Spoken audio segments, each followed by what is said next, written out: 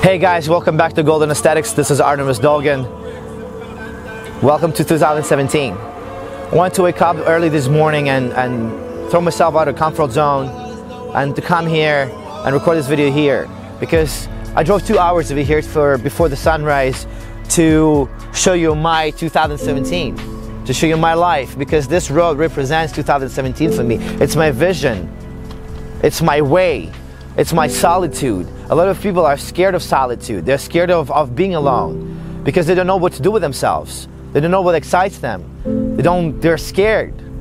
And this is 2017 for me because I want to be focused. I want to be focused on my vision, not on a fucking wish list. I want to have 10 pounds more muscles. I want to win a show. I want to have a car. I want to have that. This is fucking wish list. And you will see that that you're gonna see all these resolutioners in the gym and two weeks later they're all gonna be gone because they have the wish list. I have a fucking vision and vision has a gravity pull.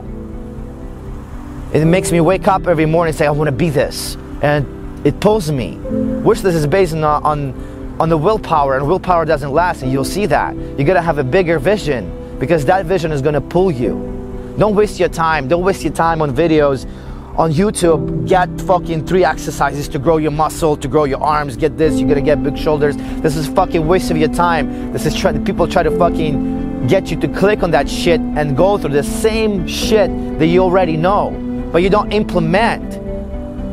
You, you try to find this, this, this, this secret, the secret weapon, the secret knowledge that's gonna fucking make you grow and make you change and make you successful, but everything is hard work. Do you think this, look, all school bodybuilders, the videos that we're putting out, guys, if you fucking follow that, that advice, I guarantee you results. I guarantee you success. Implement that. Don't just like, oh man, that's inspiring, that's cool.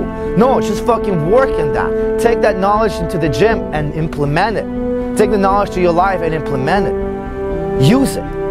Don't just fucking, oh man, that's cool. No, man, it's not cool. You have to fucking live through it. You have to take this and apply it to your life. You have to fucking go and work. You have to convince yourself that you're great way before you become great because you develop the mindset of the great, the work ethics of the great, and you have to do things that excite you. Without that, you will not discover yourself. Things that excite you are going to get you closer to your purpose. You know, I've been I've been lost in my life so many times, but I always did things that excited me. And I would never be here if not bodybuilding. I never had enough faith, like, hey man, you know, I can do this, I can, I can, I can, I can do something out of it. But as I told myself, hey man, I don't have enough genetics, I don't have big, big arms, I don't have the big legs, but that's what people tell me all the time. And if I listen to them, I wouldn't be doing this. I wouldn't be, I wouldn't be successful. I wouldn't be climbing this fucking mountain of success, this ladder of success that Arnold was talking about. I wouldn't be doing this. I would be fucking sitting, hiding, and not doing shit. And this is not how it works. And of course you're gonna feel alone because you're going to do things that other people can relate to. And it's totally fine. It's totally fine to walk this road because I've been doing this all my life. And it's not scary at all. You discover, you discover peace within yourself. You discover this harmony. You discover this power, you know, this strength in you. Because in solitude, you can do that. You can learn, you can focus on your craft, on things that you want to do. And if you don't know what excites you, then start trying things.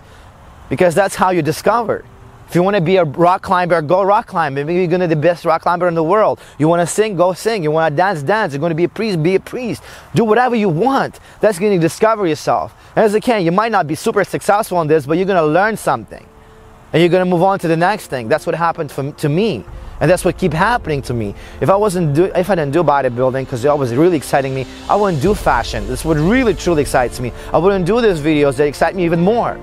And that's how you discover yourself. You can be in Germany right now, in Switzerland, in China, in Asia, anywhere, anywhere in any continent in the world. And I want, this, I want you to hear this message because I am truly living through this. I'm walking this road. And you shouldn't be afraid because you're not on your own. There are thousands of other people who walk the same road. And don't be afraid of someone's opinion.